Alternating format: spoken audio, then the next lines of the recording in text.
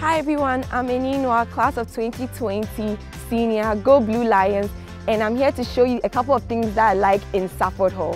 Follow me. So welcome to Safford.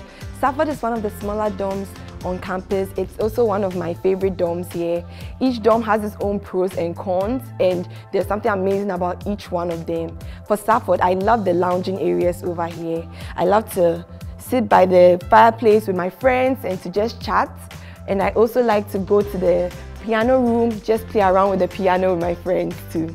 And as well with all the other dorms on this campus, Safford has a grand piano, a grandfather clock, and a fireplace, which is one of the things Mary Lyons says should be in every hall here at Mount Holyoke College.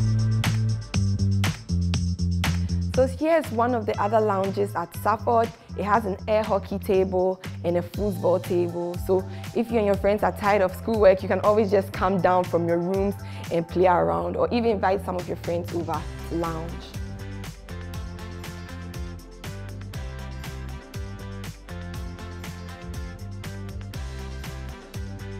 And another favorite part of Safford for me is the Golden Pear, which is one of our small kitchens on this campus.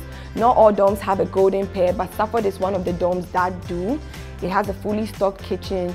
I love to cook my home food here with my friends and we gather around on weekends sometimes and just cook together. And there are places for you to sit down and eat.